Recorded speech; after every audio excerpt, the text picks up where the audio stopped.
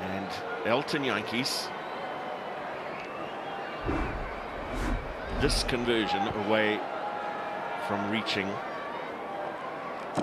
1,000 points in Super Rugby. 19 scored so far in the three rounds in 2019.